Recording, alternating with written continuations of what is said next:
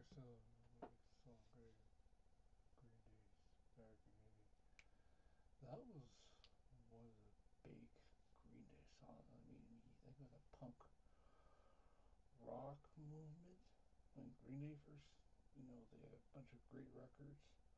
When that song came out, that was the song,